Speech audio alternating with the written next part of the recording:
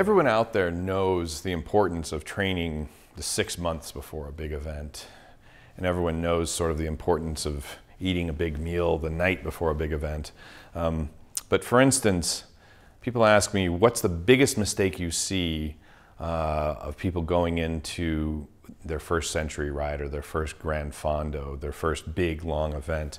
And it's the exact same mistake that I see a lot of professional riders making going into a big one day race like Paris-Roubaix or like the World Championships. The easy but difficult way to phrase this is in the, the last two weeks before the event are actually pretty much as important as the previous six months you can completely deconstruct all of your training in those last two weeks. You can ruin everything in those last two weeks, or Conversely, if you do everything right, you can actually improve almost as much as you did in the previous six months just in those two weeks. Now, how is that possible? Well, it's more about making sure the timing of your body's peak in its own cycles in those last two weeks before the event that you're hitting it just right. And what are the mistakes I typically see in that? Well, the two mistakes I see, very simply put, are people train too much or they train too little. Tapering is a commonly used training technique, which basically just means training less and less and less before the big event.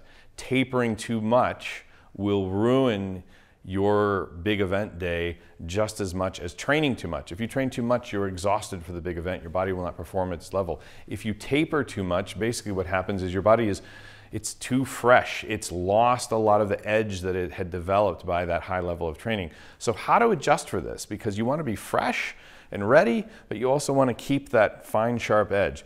Here are the basics, and this is what we use with professional riders very successfully, is essentially this.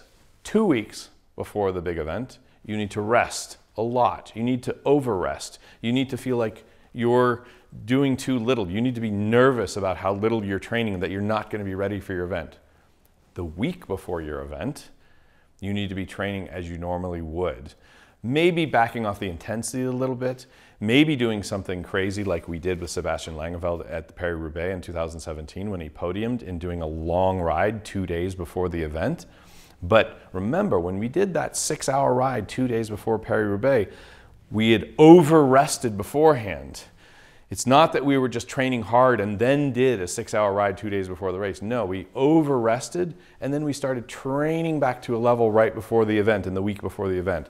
So that's my recommendation. Two weeks before the event, two weeks before rest. The week before, train as you normally would and don't back off too much.